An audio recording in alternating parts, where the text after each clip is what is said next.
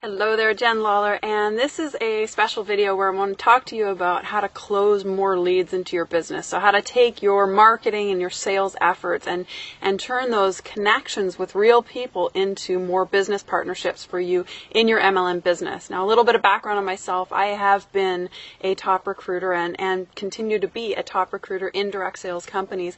And there's a little secret that I'd like to share with you.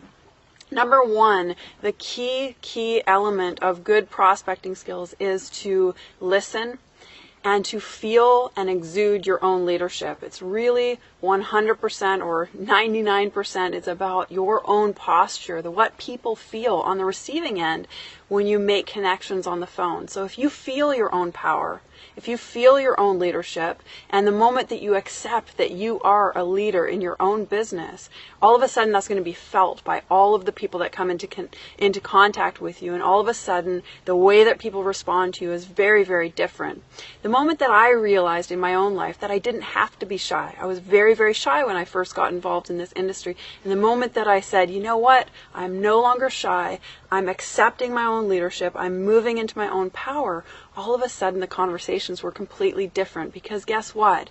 People are looking for leadership. People are looking for somebody who can show them and guide them in the process of exploring an opportunity, knowing if it's right for them,